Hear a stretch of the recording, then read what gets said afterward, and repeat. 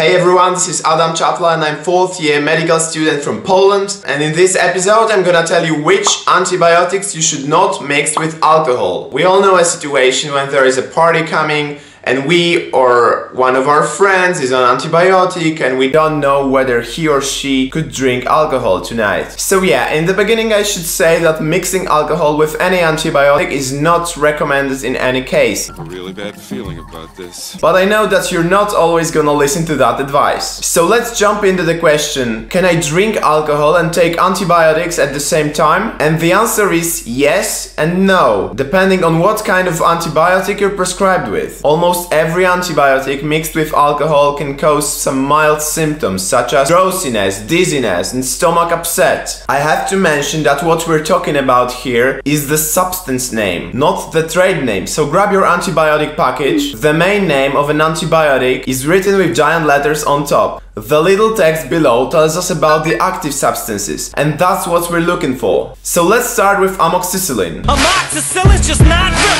Amoxicillin is one of the most prescribed antibiotics in the world. And here are some good news. 1. There are no known interactions with amoxicillin and alcohol. 2. Drinking alcohol and amoxicillin does not reduce efficiency of the therapy. Also, amoxicillin is often mixed with clavulanic acid, which is not an antibiotic, but it's a substance that increases increases the efficiency of amoxicillin. This additional substance can also lead to some adverse effects when mixed with alcohol. Okay, so let's jump into the antibiotics, which you should never ever mix with alcohol. All of the substances I'm about to tell you have one common thing. Their chemical structure is similar to the disulfiram, a molecule which slows down the metabolism of alcohol in our bodies. And so the scientists called these substances disulfiram-like drugs. Those antibiotics mixed with alcohol can cause some serious adverse adverse effects such as nausea, throbbing headache, vomiting, flushing, abdominal discomfort. So here is the list of antibiotics that cause disulfiram-like reaction. These you should never mix with alcohol. Cephalosporins, chloramphenicol, cotrimoxazole, which is actually two antibiotics, trimethoprim and sulfamethoxazole, griseofulvin, isoniazid, ketoconazole, nitrofuran, such as furazolidone and nitrofurantoin, nitroimidazole, such as metronidazole, and tinidazole, and sulfonamide. I added a more detailed list in the description below. If you learned something valuable in this video, leave a like below. Also, if you have any questions, leave it down in the comments below. See you next time and have a nice party today. Outro!